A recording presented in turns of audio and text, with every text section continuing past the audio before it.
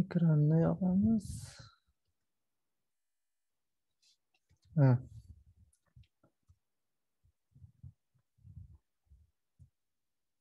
birinchisi stringga o'tkazish. Stringga o'tkazish. Ya'ni qaysidir ma'lumot turidan uni stringga o'tkazish. Uni qanaqa yo'llari bor? Э, masalan bizada age э, degan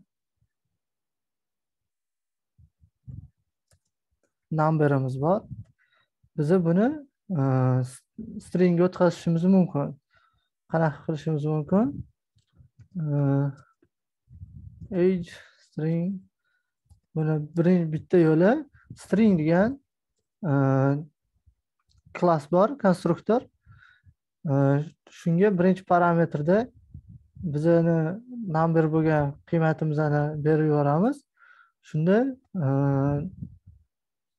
bu age qiymatimizni string shaklda qaytaradi. Buni e, konsolda ko'rishimiz mumkin. Birinchi age o'zini chiqazamiz. Keyin yonida age string.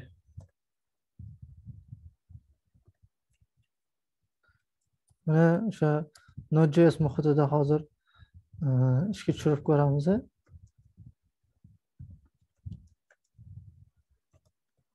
mana konsolda ko'rib turganinglardek birinchisi mana ma'lumot turi number ikkinchisiniki e, stringga o'zgargan e, xuddi shunaqa bulen qiymatligini ham o'zgartirsak bo'ladi.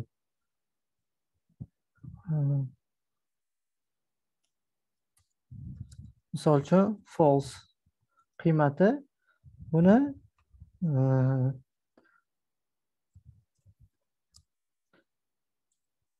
bu string string klassiga o'sha boolean qiymatimizni berib yuboramiz shunda bizaga bu booleanimizni string qiymatida qaytariladi ya'ni bunda natija hozir ko'ramiz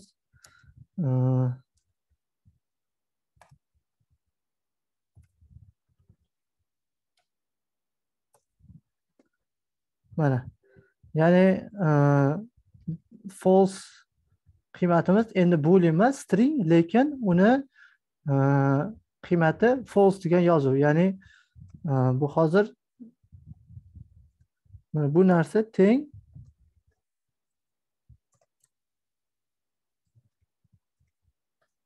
Mana shunaqa yozuvga. Ya'ni string shakldagi false degan yozuvga aylantirib berdi. E, yana qanaqa shakllari bor? Stringga o'tkazishi. Xo'sh bunisini kommentariyga olib qo'yib turamiz.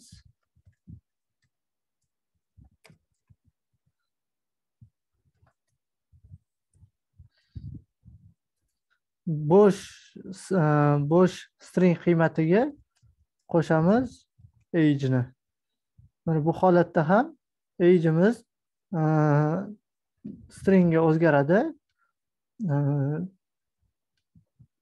chunki javascriptda o'sha birinchi darsda o'tganimdek tushuntirganimdek e, qo'shish amallari e, mutlaqo xavfsiz ya'ni xatolik bermaydi. Songa e, stringga qo'shsak xatolik bermaydi. Shunchaki uni stringga aylantirib qo'yadi. Xolos hozir age stringga qiymatini ko'rishimiz mumkin. Mana mana uni tipi string qiymati o'n ikki. Ya'ni bu e, buni qiymati teng bo'ladi. Mana shunaqa shaklga e, kelib qoladi. И yana bitta turi. Buni ham yozib qo'yamiz. E, yana bitta turi.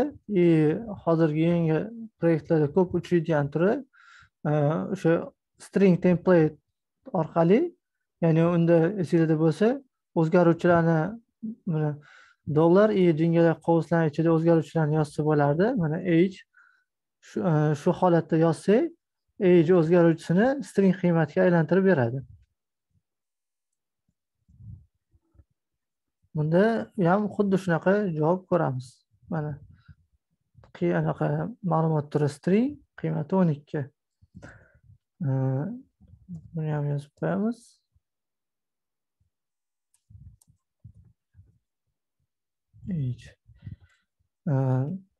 Faqat son qiymat emas null yoki undefined qiymatlarni ham stringga o'girsa bo'ladi. Konsolda ko'rishimiz mumkin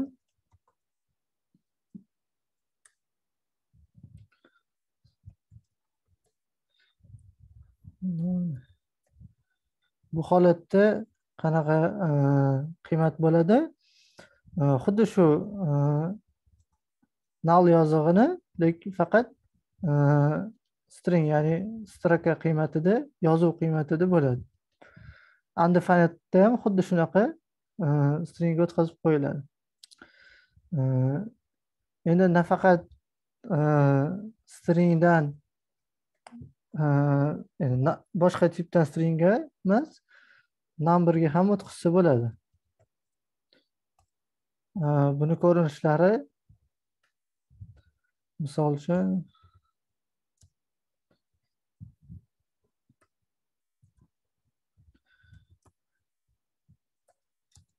misol uchun mana shunaqa qiymatdagi yil e, bo'lishi mumkin.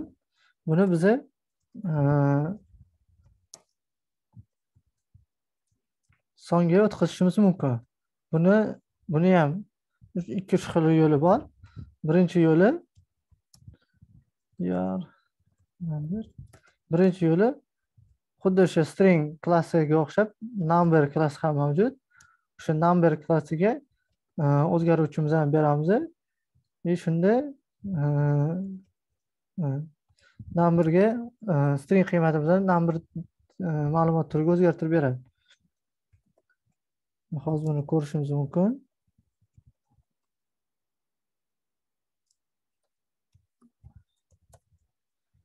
Xo'sh hozir ishga tushirib ko'ramiz.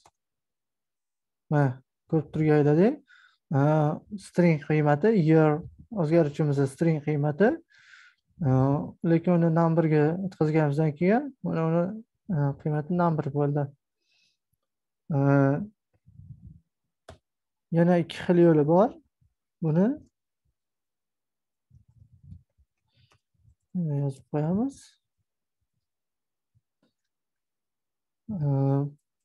Parse int yoki parse float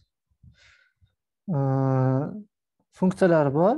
Bu funksiyalar javascript o'zini standart funksiyalari hisoblanadi. Shular orqali ham e, string qiymatiga e, string ma'lumot turiga qiymatlarimizni e, numberga o'tkazsak bo'ladi. Buni ham ishga tushirib tekshirib ko'rsak bo'ladi. Mana string e, o'zgargandan keyin mana number qaytaradi. E, parse int bilan parse floatni farqi e, parse int bu aniq sonlar ya'ni butun sonlar uchun ishlatiladi. Bir ya'ni noldan katta bir ikki butun sonlar. Float kasr sonlar ya'ni bir taqsim Э, bir o'ndan bir yoki e, shunga o'xshash ikki yarim e, shunaqa sonlar uchun ishlatiladi. Parse float ya'ni parse int ikki ya'ni butun sonlar bo'lsa parse float e, kasr sonlar.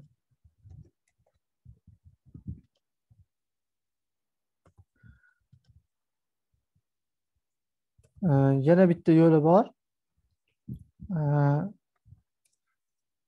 Bu yo'li ham bu yo'li ham qisqa bo'lgani uchun ko'p joy ko'p e, ayniqsa eski proyektlarda ko'p uchratish mumkin. Ya'ni oldiga plyus belgisini qo'yilib e, buni e, son qiymatiga o'zgartirib olsa bo'ladi ya'ni ishga tushirib ko'ramiz. String number. Shunaqa qilib son qiymatiga o'tkazsa bo'ladi. Ya'ni year oldiga plyus belgisini qo'yib. Va yana yana bitta turi bu booleanga o'tkazish booleanga o'tkazish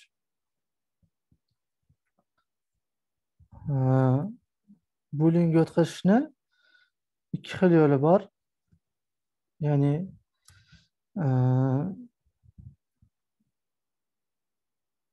misol uchun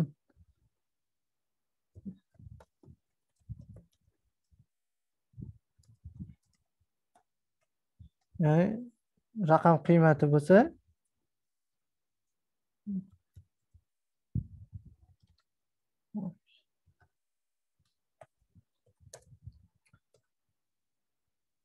buni booleanga o'tkazsak bo'ladi. Buni bittada ikkala yo'lini ham ko'rsataman. Linda ham e, xuddi shunaqa e, boolean degan e, klassi bor. Shunga qiymatimizni berib yuboramiz shunda u booleanga o'tkazib beradi. Ko'rishimiz mumkin. И ikkinchi yo'li ikkita undov belgisi. Mana shu shaklda ham booleanga o'tkazib beradi ya'ni ko'ramiz mana true true qachon true qachon false bo'ladi ya'ni qiymat bir bo'lsa bir yoki undan katta bo'lsa hammasi true qiymatiga o'tadi nol bo'lsa false qiymatiga o'tadi ya'ni false falsega aylanadigan qiymatlar bor o'zi. Ya'ni bular nol qiymati null qiymati undefined bo'sh bo'sh string qiymatimiz not a number ya'ni raqam emas. Mana shu qiymatlarimiz falsy deyiladi ya'ni falsega aylanadigan. Va e, shu qiymatlarimizni booleanga o'tkazishga harakat qilsak bular hammasi e, false qiymatiga keladi. Bulardan tashqari bulardan qolgan hamma qiymat ya'ni noldan katta sonlar yoki bo'sh bo'lmagan stringlar obyektlar funksiyalar hammasi e, true qiymatiga olib keladi booleanga aylantirishimiz xo'sh. Bu bo'yicha savoli yo'qmi kimda? Savol bo'lmasa bo'lmasam ikkinchi mavzuyimizga o'tamiz. Kechirasiz savol bor edida aha. Пустой array пустой obyektlar true nima uchun true qaytaradi ular aha. Chunki ular obyekt hisoblanadi ya'ni ular qiymati bo'sh bo'lgani bilan lekin ular e, xotirada joy ajratilinadi ularga ularni o'zini prototiplari bor. Ya'ni u e, sizga ko'rinishda bo'sh bo'lishi mumkin lekin o'zi bo'sh bo'lmaydi ular. Uni o'zini prototiplari bor. Shularni hisobiga e, bu o'zgaruvchilarimiz true qaytaradi. Rahmat. Prototiplar haqida ham hali yana dars bo'ladi ularda yana batafsil tushuntiraman. Keyingisi matematik operatorlar.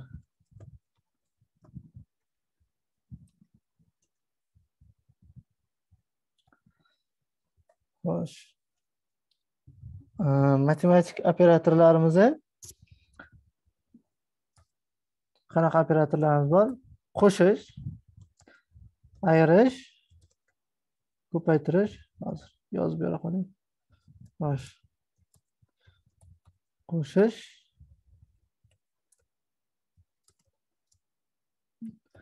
Ayirish. Ko'paytirish. Bo'lish operatorlari. Yana foiz bor.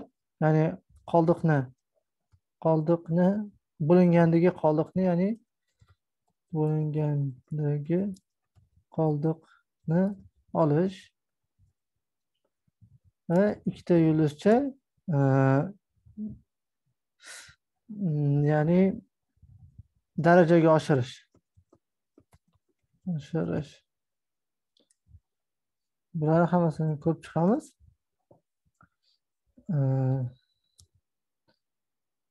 X qiymatimiz misol uchun bir. Y qiymatimiz yigirma uch o'n ikki. Bo'lsin bu hamma e, matematik operatorlar e, xuddi o'sha matematika qoidalari bo'yicha hisoblanadi. Ya'ni x ga y ni qo'shmoqchi bo'lsak mana plyus operatorini ishlatiladi. Yoki bu e, bo'lmoqchi bo'lsak x bo'lu y. E, И ko'pchilik ko'rmagan e, qoldiqni olish operatori ya'ni x foiz y. Ya'ni x ni y ga bo'lganda nechi qoldi? Qolishini qaytaradi. И yana ko'rishimiz mumkin. X ni y darajaga oshirganimizdagi qiymat. Buni hozir saqlanib qilib tekshirib ko'ramiz.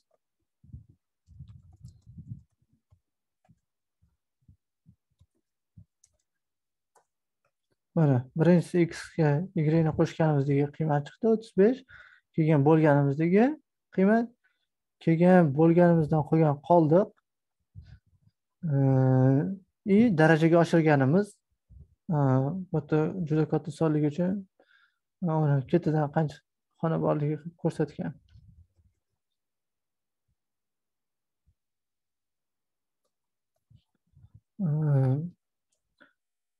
Matematik operatorlar xuddi e, e, c dasturlash tillariga o'xshab e, chapdan o'ngga qarab hisoblaydi hisoblaydi. Ya'ni bularni ketma ketlikda yozsa и yana qovuslarni ham xuddi matematikaga o'xshab qovuslar prioriteti balandroq hisoblanadi. Misol uchun qovusi ichida x plyus y e, ko'paytirib y qilsak birinchi x plyus y ni hisoblaydi keyin uni e, yana y ga ko'paytiradi.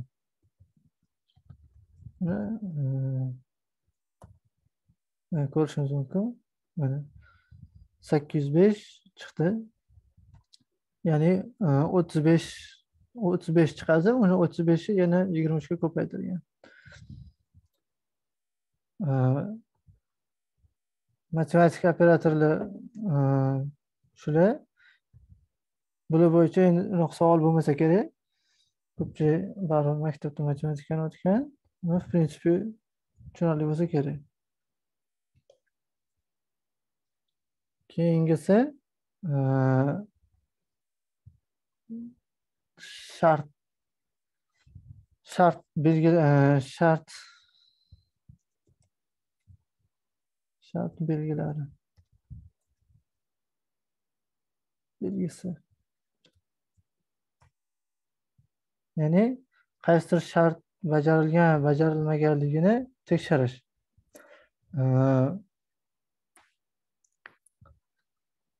Shart belgilaridan oldin. O'zi solishtirish belgilarini o'tib olishimiz kerak. Solishtirish belgilari.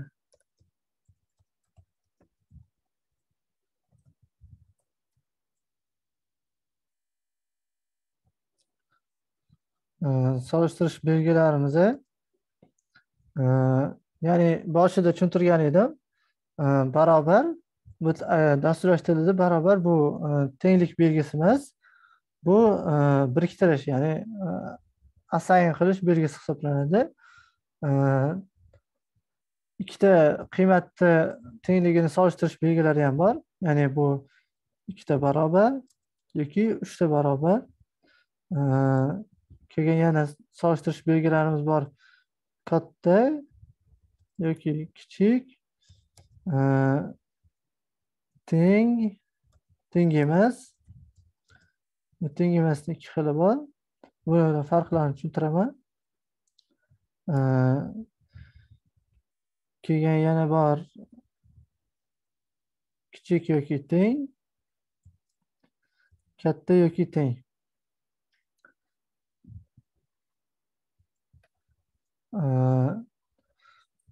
Ho'p birinchi e, tushuntiradigan narsam ikkita ikkitalik barobar va uchtalik barobari farqi.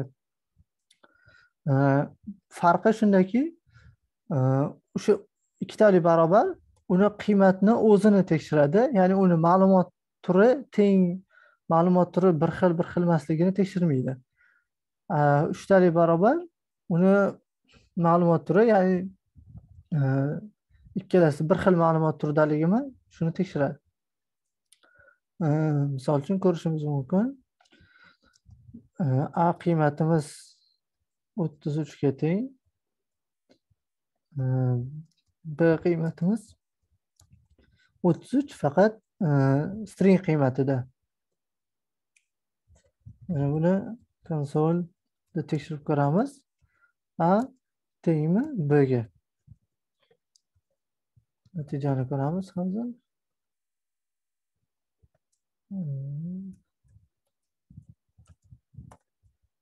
mana true qaytardi ya'ni e, teng degani e, true qaytarsa bu e, tenglik to'g'ri bajarildi. Ya'ni e, bu shart solishtirishimiz to'g'ri degani agar false qaytarsa solishtirishimiz noto'g'ri degani.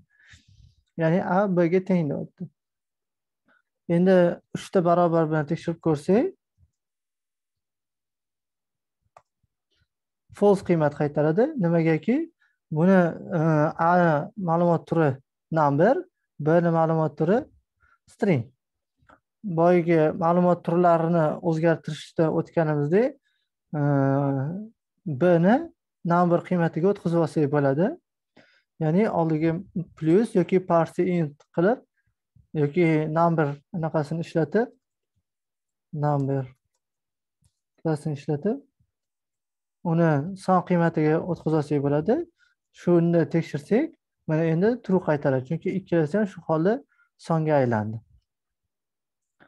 Endi teng emas belgisi e, teng emas belgisi ham xuddi shunaqa ishlaydi. Ya'ni agar teng emas ya'ni e, o'ndovidan keyin bitta barobar bo'lsa uni faqat qiymatlari teng emasligini tekshiradi. Ya'ni boyagi holatga qaytarsak mana. Ya'ni agar ani qiymati b ga teng emas bo'lsa true qaytaradi. Agar teng bo'lsa false qaytaradi. Mana. Bizga false qaytardi chunki bir biriga teng. Lekin uni ma'lumot turlari boshqacha. Ma'lumot turlarini ham tekshiramiz desa mana ikkita barobar qo'yilsa shunda u ma'lumot turlarini ham tekshiradi. Ya'ni true qaytaradi. Ya'ni bu degani a bga teng emas deyapti shu teng emas bo'lgani uchun true qaytaryapti. Nimaga teng emas? Chunki number va string. Endi katta va kichik operatorlarni tekshirsa bo'ladi.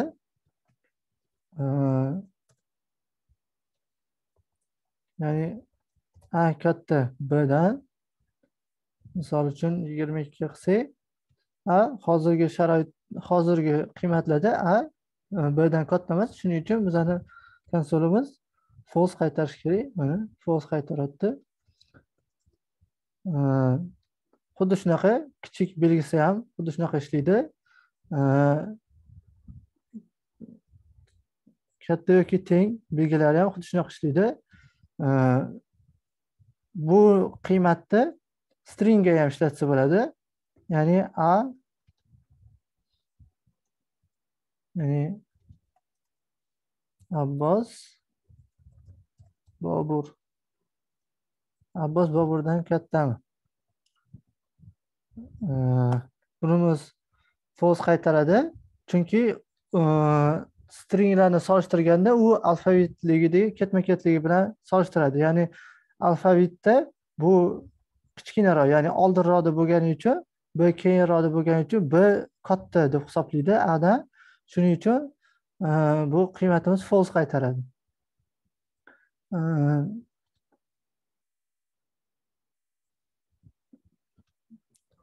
solishtirish belgilari shular bular bo'yicha ham savollar yo'qmi kimda? Xo'sh savol bo'lmasa tushunarli bo'ldi. Endi shart shart belgilariga o'tamiz. Chatga qarab chatda nima deysiz? Yaxshi eshitilmadi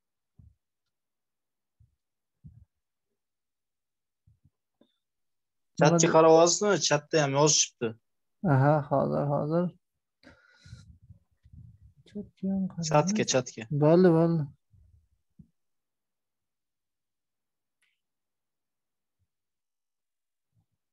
aha. Bular binarniy binarniy operatorlar hisoblanadi. Ya'ni xo'sh. O'zgaruvchini ya'ni e, qaysidir bitdan ya'ni masalan sakkiz bit bo'lsa uni e, chapga yoki o'ngga surish yoki uni e, bitta bitli qiymatdan boshqa bitli qiymatga o'tkazish o'tkazish ishlatiladi. Bu narsa unaqa ko'p ishlatilmagani uchun hozir e, qaysi biri qaysinga ishlatilardi yaxshi eslolmasam kerak. E, buni qarash kerak bu qarab eslab keyingi darslarda eslatsanglar tushuntirib beraman. Bu narsani e,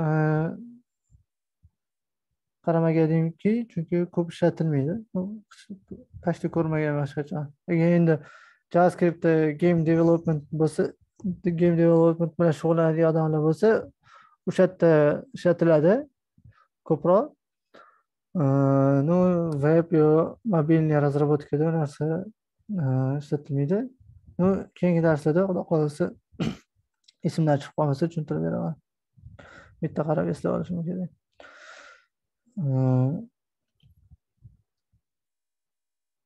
Chatda bo'ldi manimcha. Ho'p shart operatorlari. Shart operatorlari ya'ni if degan kalit so'zi kelgan e, qovusda e, ya'ni qaysi shart tekshirilishi и kelgan e, jingalak qovusdan ichida shart Э, to'g'ri bajarilsa ya'ni true qaytarilsa e, bajariladigan kod. Ya'ni bu yerda bajariladigan kod. И bu yerda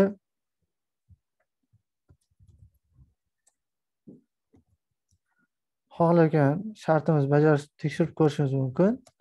Xuddi boyagiga o'xshab ikkita sonni solishtirib ko'rishimiz ham mumkin.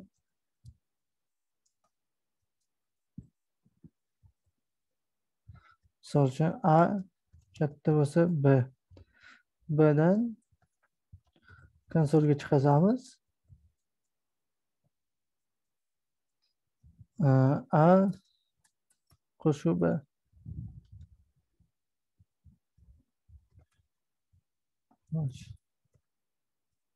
o'zi tekshirib ko'ramiz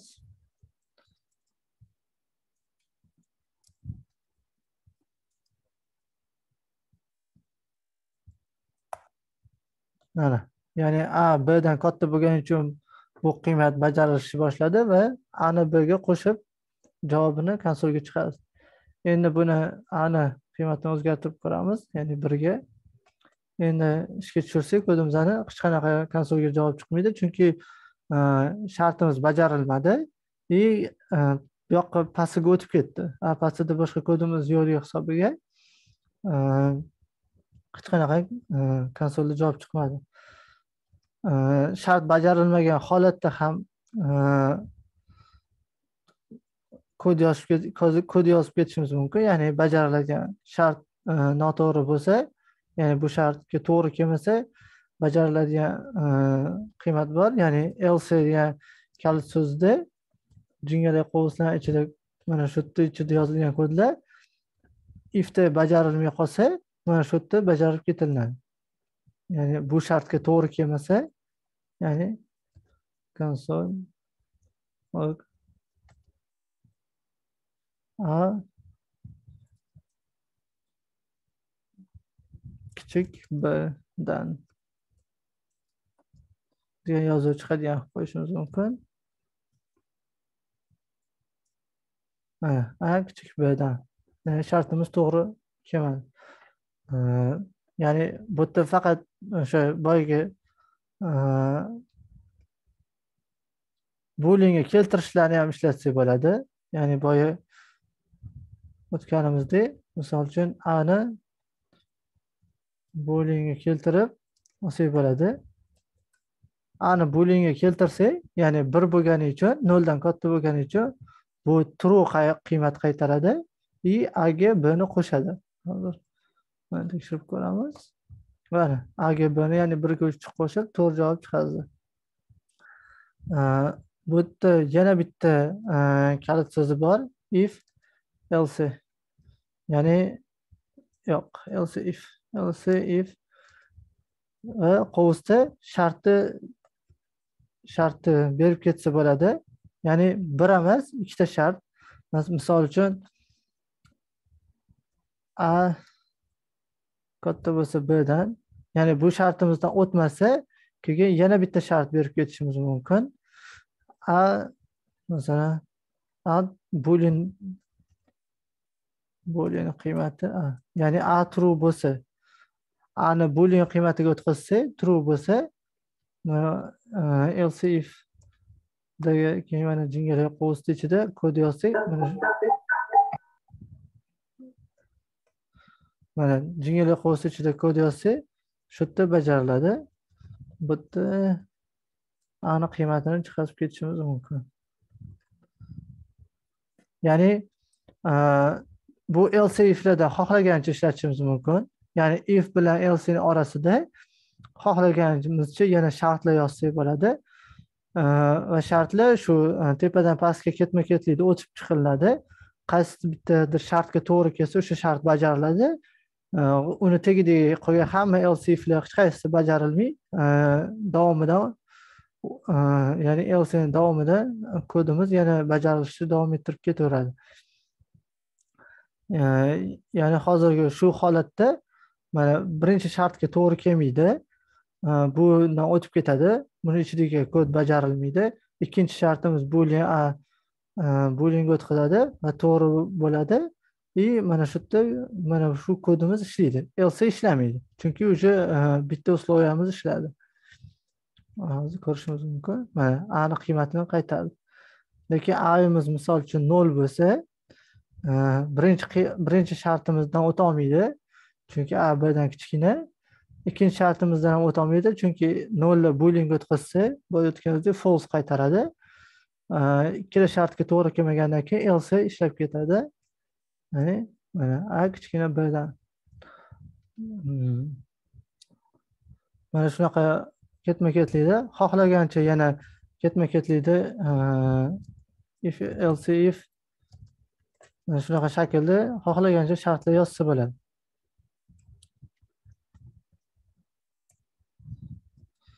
Budka shart shartlarga nimalarni yozsa bo'ladi boyagi solishtirish operator solishtirish belgilarida o'tganimizdek barobar ikkita barobar katta kichik teng emas mana shular hammasini ishlatsa bo'ladi yoki boyagi ma'lumot turlarini o'zgartirishda o'tganimizdek ya'ni bulingni o'zgartirsa bo'ladigan ya'ni bulingni o'zgartirib shu shartga bersa bo'ladi agar bulingni o'zgartirmasdan mana shunaqa e, shunaqa oddiy a shaklda berib qo'ysak e, mana bu holatda ham e, javascriptni o'zi shart operatordagi o'zgaruvchini o'zi xuddi shu boyagi bulingga o'tkazib tekshiraveradi ya'ni mana shundoq qoldirishimiz boyagi bulingli shakl bilan ya'ni bo'ling mana shu bilan bir xil e, ishlaydi. Chunki e, javascript o'zi buni baribir e, boolean qiymatiga o'zgartiradi o'zi. U faqat runtime payti hisob bajariladi. Buni o'zimizni bo'ling qiymatiga o'tkazsak yaxshi. Nimagaki runtime qiymatida javascript runtime vaqtida javascriptga bitta ish kamaytiramiz. Shuni hisobiga ozgina bo'lsa ham e, kodimizni tezligi oshadi. E, bu bo'yicha hech kimni savoli yo'qmi?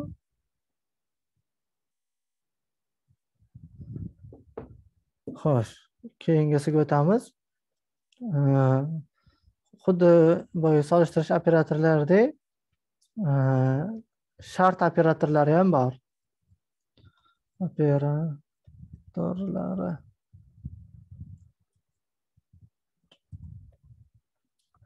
shart operatorlari bular yoki e, va e, yoki agar yoki mana shunaqa shaklda va yes oltidan keyin qo'shilgan e, ikkita so'roqli ya'ni nol yoki undefinedga tekshirish operatori hisoblanadi. Hop. Bular haqida e, ikkidan o'tamiz? Birinchisi yoki operatori e,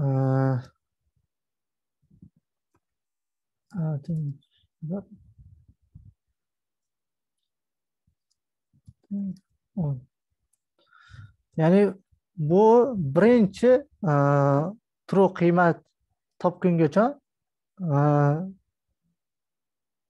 tekshiradi. Ya'ni agar e, konsolda a yoki b deyozsak nima qiladi? E, boyagi shart belgi operatorimizdek bu shart operator e, shart operatorlari ham berilgan qiymatni agar o'zgaruvchi boolean tipidagi bo'lmasa ya'ni e, shu bosh birinchi darsda aytganimdek javascript o'zi runtimeda dinamicheskiy tiplarni o'zgartiradi. Ya'ni buni birinchi tekshiradi booleanmi deb. Boolean bo'lmasa buni bulinga o'tkazadi. Ya'ni bir sonini bulinga o'tkazadi. И true. Bir soni bizaga true qaytaradi. True qaytargandan keyin bizaga o'sha birinchi natijamizdan o'zi true qaytdimi shuni o'zini javobini chiqazadi. Hozir konsolga chiqazib ko'ramiz. Shart.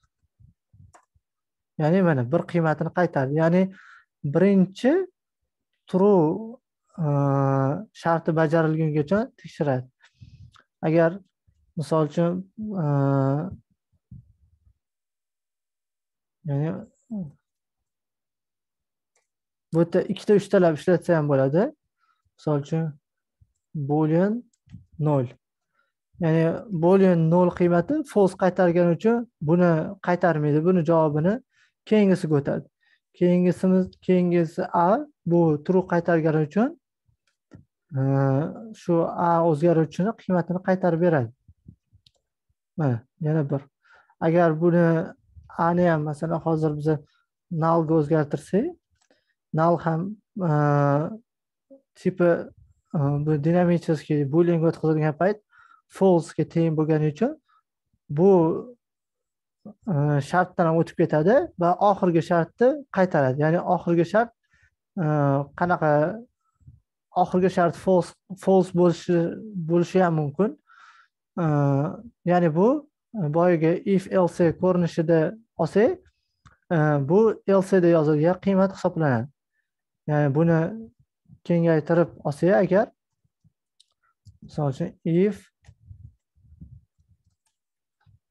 buni nol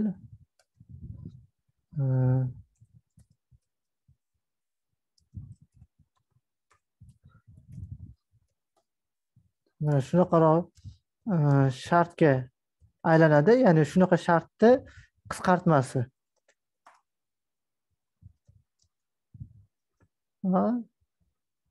Ya'ni shunda oxirgi yozganimiz lcga kirib ketadi. Ya'ni mana boshidagi e, hech qaysi e, shartlarimiz to'g'ri kelmasa ya'ni lcni bni qaytarib beradi. Ya'ni mana shunaqa shaklga aylanadi. Mana bu ikkalasi ishlash bo'yicha bir xil e, javob ishlaydi. Tekshirib ko'rishimiz mumkin. Ya'ni b ni qiymati o'nni qaytardi. Chunki birinchi e, tekshirishimiz false qaytaradi ikkinchisi ham false qaytaradi va oxiri else ishlaydi. Boyagini kommentariy olib shu yerda qoldiramiz. E, keyingisi e, va qiymati.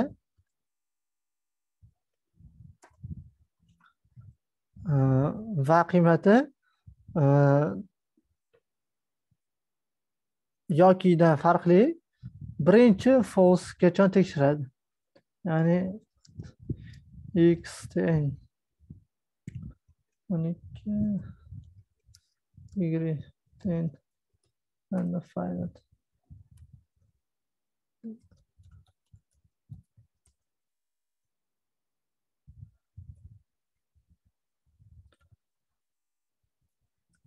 ya'ni degree and x. Bu holatda mana xuddi shart operatorlaridek boyagida masalan bu true qaytarsa qaytarsa bu holatda bizada false qaytgungacha yoki agar false qaytmasa e, ya'ni ikkala shart ham e, true qaytarsa e, x ni javobini qaytaradi. Misol uchun hozirgi hozirgi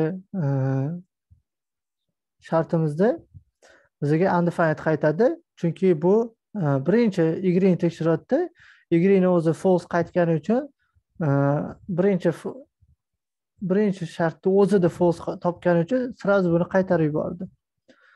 Ya'ni e, bu xuddi e, mana shartimizda bu qanaqa ishlaydi?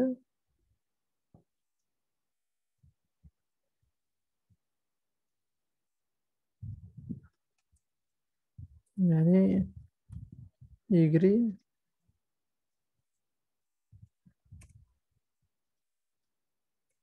faqat farqi ya'ni false qidiradi ya'ni buni e, unda qo'yib qo'ysak ya'ni birinchi false qiymatni topgungacha ya'ni bu undov belgisi e, teskarisiga aylantiradi. Ya'ni qiymatni e, boolean shakldagisini teskarisiga aylantiradi. Ya'ni shartimizda hozir yimiz undefined buni tipa boolean bo'lmagani uchun buni booleanga o'tkazadi. Undefinedni booleanga o'tkazsa false bo'ladi.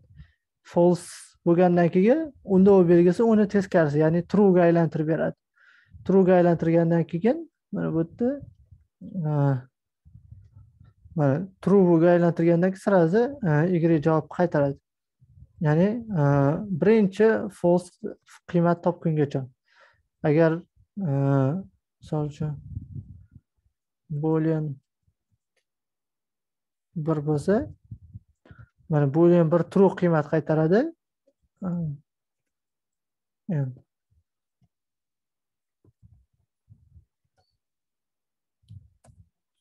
Mana.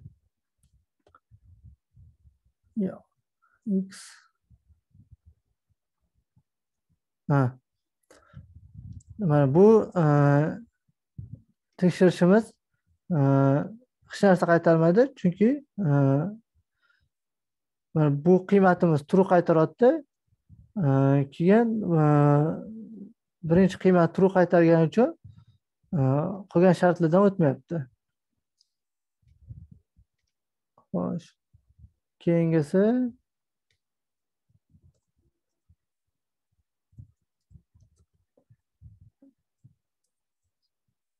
xo'sh. Boyagi if else yozganimizdek a qiymat tepada e'lon qilgan qiymatimiz bor.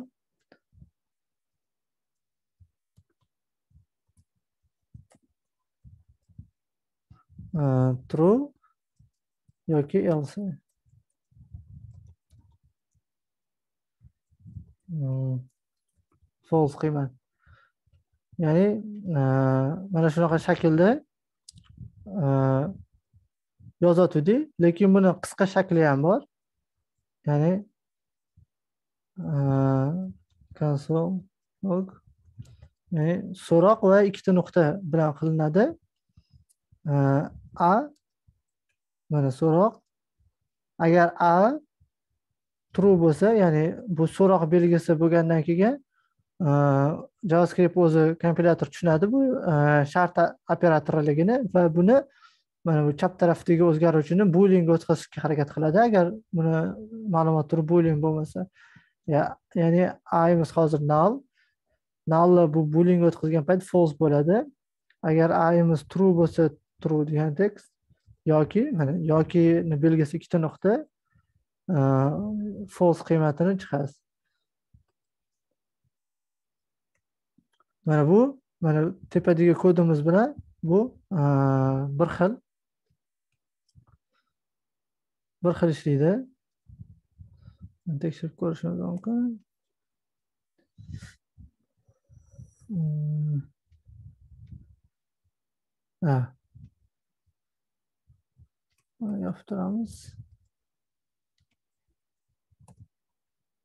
Mana false chiqdi. Ya'ni e, ayimiz nal bo'lgani uchun bu booleanga o'tkazgan payt false qiymat qaytargani uchun ya'ni birinchi shartni o'tkazib yuboradi bajariladiganni va ikkinchi shartni e, ikkinchi shartdagi qiymatni oladi qaytaradi. Ikkinchi shartdagi qiymatni qaytaradi.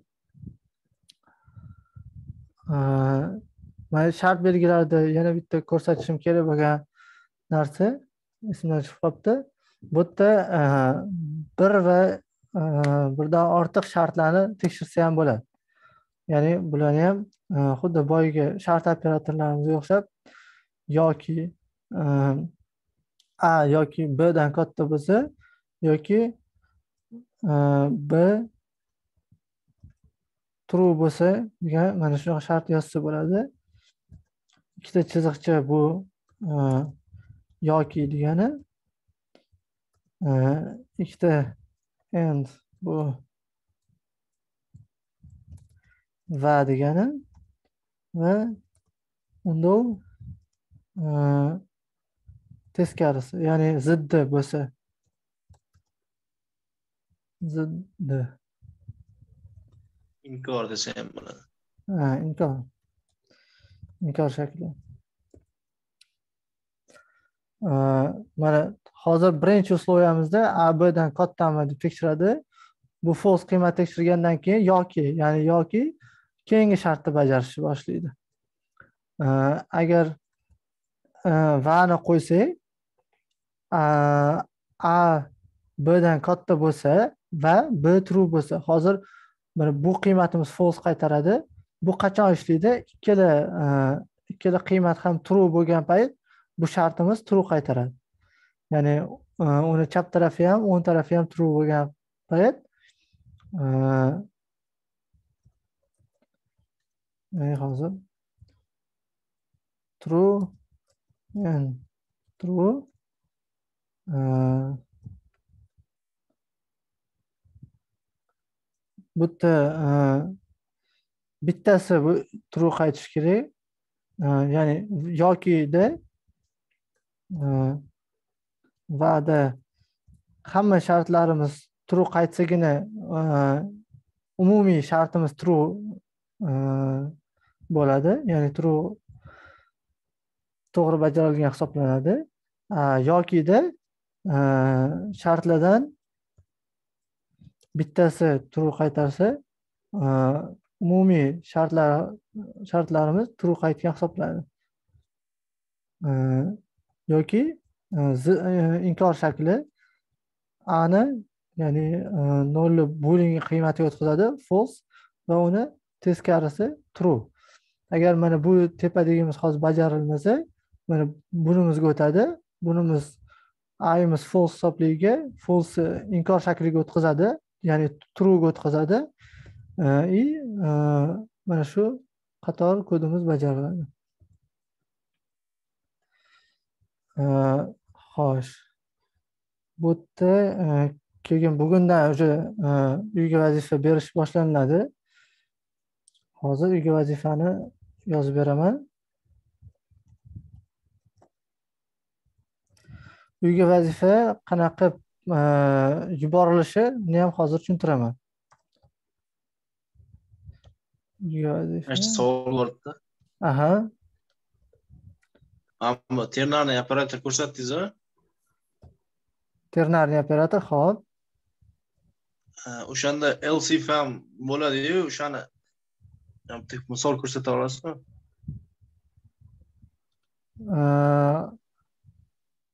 Qaysi holatda?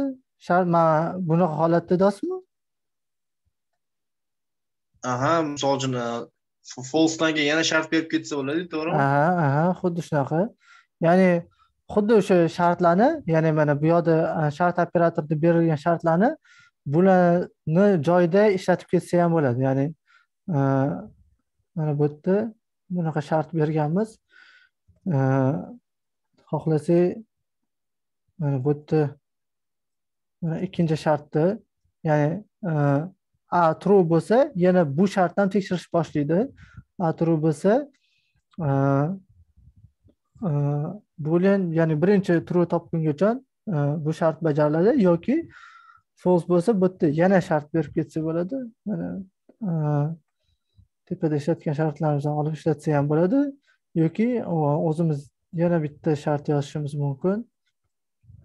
E, B teng bo'lsa misol uchun nolga va yana ternarniy shart bajarib ketsa bo'ladi. Nol agar nol bo'lmasa bni o'zini qaytarish. Ya'ni e, shart ichida shart bajariladi. Mana shunaqa ishlatib ketaversa ham bo'ladi. Ya'ni buni faqat ternarniy bunda emas ya'ni bu yoqda ham xuddi shunaqa e, shartni ichida yana shartlar ishlatib ketsa bo'ladi.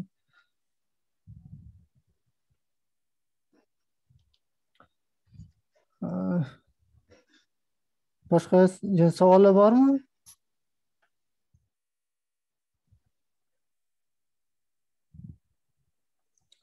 Savollar bo'lmasa hozir uyga vazifani tushuntiraman. Birinchi vazifa yo'q.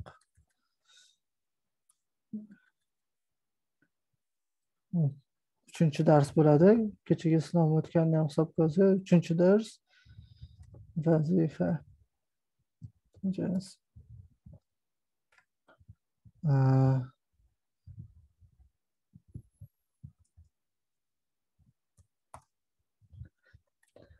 Vazifa sharti. Ya'ni e, birinchi vazifa e, birinchisi kalkulyatsiya qilish. Ya'ni e, bizada uchta o'zgaruvchimiz bo'ladi. Birinchi o'zgaruvchi uni qiymati qaysidir songa teng bo'ladi. Keyin yana ikkinchi o'zgaruvchi. Uni ham qiymati qaysidir songa teng bo'lishi mumkin. Va yana bitta uchinchi e, matematik operator. E, matematik operator bu yerda o'sha boyagi matematik operatorlardan e, ko'rsatganlarimdan xohlaganimizda ishlatishimiz mumkin. Ya'ni qo'shish ya'ni string shaklida ko'rsatishimiz mumkin. Qo'shish mana shunaqa uchta o'zgaruvchimiz beriladi. Sizlarni vazifanglar shu o'zgaruvchilarni olib e, buni matematik operatori qanaqa berilganidan qarab e, konsolda uni yechimini chiqarish kerak bo'ladi. Misol uchun mana shu holatda shunaqa e, uchta operator bergan bo'lsanglar mana bu yerda sizlarni kodinglar kodinglar bajarilgandan keyin konsolda ya'ni mana konsolda chiqarsam ya'ni bu o'zgaruvchilik e'lon qilinmagan. O'shaning uchun xatolik beradi birinchi matematik operator keyin ikkinchi ikkinchi qiymatimiz va javob necha chiqishi. Mana shu shunaqa shaklda biza buni e, qiymatlarni o'zgartirib yoki operatorni o'zgartirsa ham bu yerda e, javob to'g'ri hisoblab chiqarilishi kerak. Ya'ni shu holatda javob e, yigirma to'rt bo'lishi kerak. Ya'ni birga yigirma uch qo'shib yigirma to'rt konsolda e, javob chiqishi kerak. Bu birinchi anaqa. Buni tushunarli bo'ldimi tushunmay qolganlar yo'qmi ho'p endi ikkinchisi. Ikkinchisi ikkinchi e, vazifa. Hop yana xuddi shunaqa qiymat. E, Son qiymat beriladi. E, va endi matematik operator emas solishtirish operatori. Operatori ko'rsatiladi. Ya'ni bu yerda misol uchun man teng yoki katta berishimiz mumkin. Ya'ni bu yerda ham xuddi shunaqa shaklda Э, chiqadi.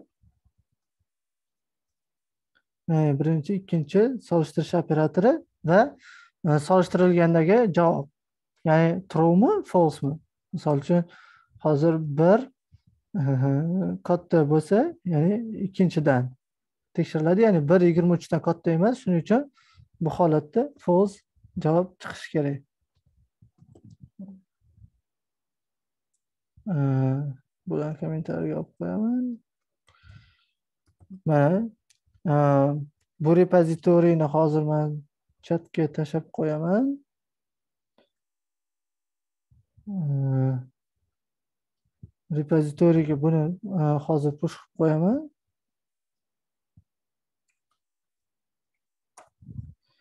Hozir uni qanaqa topshirishni ham tushuntiraman. Oldinga ko'rsatgan edim.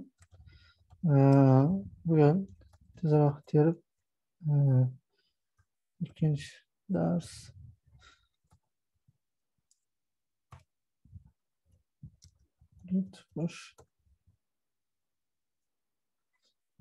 Mana shunaqa qilib o'zgarishlarni githubga qo'yiladi. Birinchi add qilinadi qo'shiladi commit keyin oxirida push qilinadi. Sizlar qanaqa qilib Э, javoblarni qaytarasizlar. Э, javoblarni open source proyektlarda mashhur bo'lgan pull request orqali qaytarasizlar. Pull request qanaqa qilinadi? Э, siz o'zingizni github akkauntingizga kirasiz и man sizlarga tashlab bergan ссылка bo'yicha mana shu repozitoriyni ochasizlar. Repozitoriyni ochasizlarda mana bu yerda fork degan knopka bor. Fork qilsanglar bu repozitoriylarni o'zinglarga klon qilib oladi. O'zinglarga o'tkazib oladi. Mana bu yerda e, bu mani akkauntim bo'lsa shu yerda sizlarni o'zinglarni akkauntinglarga alishib qoladi. И e, keyin bu yerda mana e, buni ссылкасini o'zinglardagi уже o'zinglarga o'tganligisini ссылкасini olib o'zinglar klon qilasizlar. Ya'ni klon qilishni hozir ko'rsatib beraman. Ссылкасini olasizlar. Terminalni ochib masalan linux bo'lsa o'zini terminali yoki windows bo'lsa gitni o'zini terminali bor. Git boshiga e, git e, yoki vs code terminalini ishlatsa ham bo'ladi. E, git klon degan kalit so'zi bor va o'shandan keyin joy tashlab hozirgi kopiya qilgan ссылкamizni tashlaymiz. И enter bosamiz и git bizadan o'zimizni hozir o'zinglarni akkauntinglarni e, login и parolini so'raydi. O'shani terganinglardan keyin o'zi e, bu proyektni sizlarni lokalniy anaqanglarga ko'chirishni boshlaydi. Lokalniyga ko'chirganinglardan keyin mana shu xuddi shu narsa o'zinglarda paydo bo'ladi. Mana shu folderlar hamma fayllar e, sizlar qilishinglar kerak bo'ladi. Kim uyga vazifani shu bajarsa u fayl sajat qiladi ya'ni o'zini ismi bilan misol uchun islom ismoil yoki hamma o'zini ismi bilan nuqta js va o'shani ichida o'zini решенияsi ya'ni yozgan bajargan vazifasini yozadi keyin yozgandan keyin xuddi boyagi man ko'rsatgandek git add qiladida qo'shadi o'zi e, yozgan kodini e, faylini yoki nuqta orqali o'sha hamma o'zi yozgan fayllarni qo'shishi mumkin. Keyin commit yozadi. Masalan u commitni e, сообщенияsi o'zinglarga bog'liq. Xohlagan narsa yozish mumkin. Masalan ikkinchi dars uchinchi dars uyga vazifa deb yozishinglar mumkin. И keyin git push qilib jo'natasizlar. Bu jo'natganinglar o'zinglarni repozitoriylarga kelib tushadi. Ya'ni bu yerda e, masalan sizlarni o'zinglarni akkauntinglar bo'ladi. И for e, fork qilganinglarda ya'ni buni klonini o'zinglarga olgan bo'ladi. И push qilsanglar o'sha e, o'zinglardagi kloniga push qiladi. Keyin mana shu yerda tepada qayerdadir hozir esimda yo'q o'zi podskazka chiqadi. Pull request tashiymi deb. Agar chiqmasa mana bu yerda pull request degan razdel bor. Shu yerga kirib pull request jo'natsangiz bo'ladi. Pull request jo'natsanglar e, sizlarni o'zgarishinglar mani e, mana shu yerga e, hamma pul requestlar mana shu yerga kelib tushadi. И man uni kod review qilaman ya'ni yozgan kodinglarni ko'rib xatolar kamchiliklari yoki yaxshilasi bo'lgan joylarini ko'rsatib yozib kommentariy qoldiraman. Agar noto'g'ri ishlayotgan bo'lsa kodinglar orqaga qaytarib yuboraman pul requestinglarni to'g'irlab ya'ni kommentariy yozib nimasi xato ishlayotganini orqaga qaytaraman. E, to'g'irlab yana pull request jo'natasizlar. И agar to'g'ri ishlayotgan bo'lsa pull requestinglarni qabul qilaman. Shunda e, mani mani repozitoriyimda уже sizlarni uyga vazifanglar mana shu uyga vazifa fayliga o'zi avtomatik tushib qoladi. E, pull request jo'natganinglardan keyin sizlarni ism isminglar shu yerda agar уже joylashgan bo'lsa demak uyga vazifanglar to'g'ri bajarilgan hisoblanadi. Pul request tashlash bo'yicha hech kimda savol yo'qmi?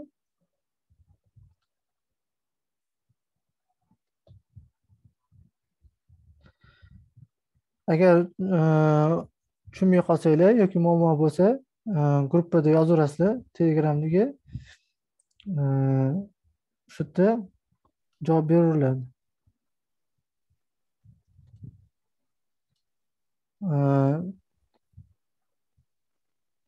umumiy dars bo'yicha hech qanaqa hech kimda savollar yo'qmi? Islom aka manda bitta savol bor edi aha boshida bu stringlarni nima e, qandaydir qaysi tipda bo'lsa ham stringga o'zgartirayotgandik-ku ikkita undov belgisi bilan. Yo'q. Agar o'sha ikkita undov belgisi bilan booling o'tkazsak bo'ladi booling o'tkazayotgandik то есть aha aha aha. O'shani agar bizda yo false yoki true ya'ni booling tipida kelib qolgan bo'lsa u qanday bo'ladi keyin ya'ni booling tipida aha booling tipida qolgan bo'lsa ya'ni u yana o'sha boolingligicha qaytaveradi masalan true bo'lsa yana trueligicha qaytaveradi agar false bo'lsa yana false ha xuddi shunaqa aytadi ya'ni e, mana bu yerda false qiymatlar bor. Mana shular shulardan qolgan hammasi mana bular hammasi e, false qaytaradi. Mana shular hammasi false qaytaradi. И bulardan qolgan hammasi masalan bu oddiy obyekt bo'lsa e, mana bunaqa qiymat qaytaradi. Obyekt obyekt degan e, mana shunaqa. Ya'ni bu ham true qiymat hisoblanadi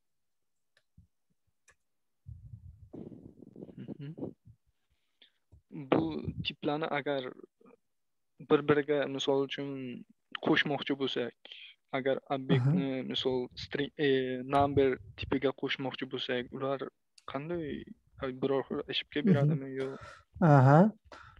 Ошибка bermaydi. Qo'shish operatori javascriptda hech qachon ошибка bermaydi. Ya'ni ular qo'shilgan paytda ya'ni qo'shish operatori javascript kompilyator qo'shish operatori ayirish operatori ya'ni matematik amal bajarish operatorini ko'rsa uni agar masalan stroka bo'lmasa stroka bo'lmasa uni ikkalasini numberga aylantirishga harakat qiladi. Masalan qo'shish bo'lsa buni ham chap tarafini ham numberga aylantirishga harakat qiladi o'ng tarafini ham numberga aylantirishga harakat qiladi. Masalan bo'sh string obyekt yoki shunga o'xshash massiv funksiyaga o'xshash narsalar e, tushib qolsa uni namberga aylantirishga harakat qiladida u namberga kelmaydigan rezultat bo'lgani uchun yoki mana bitta stroka bo'lsa ular hech qaysi namberga aylanmaydi. Masalan o'n ikki bo'lsa bu o'n ikki namberga aylanishi mumkin lekin ism bo'lsa yoki so'z bo'lsa bu narsa namberga aylanmaydi e, va e, bu not a number qiymatini qaytaradi. Ya'ni not a number false qiymat E, bir xil ya'ni notenam bir qaytaradi.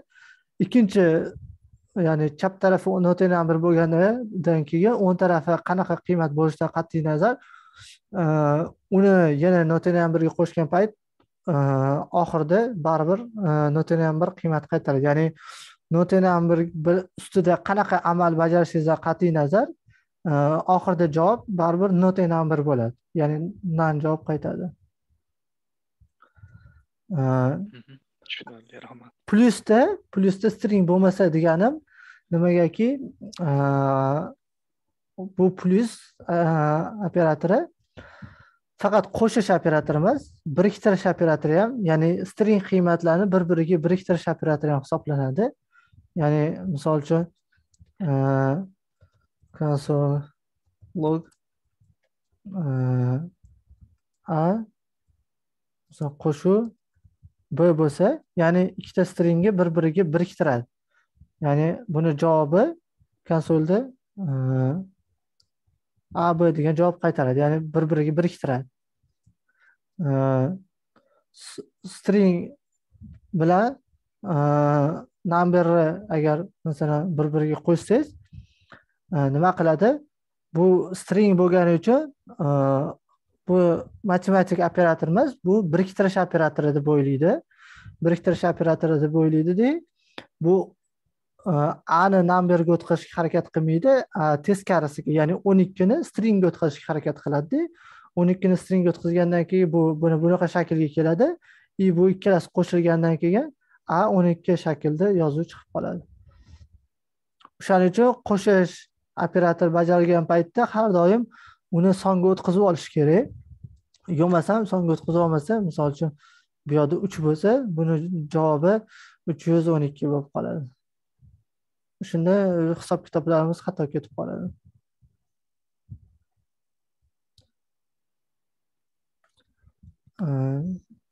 Yana savollar bormi?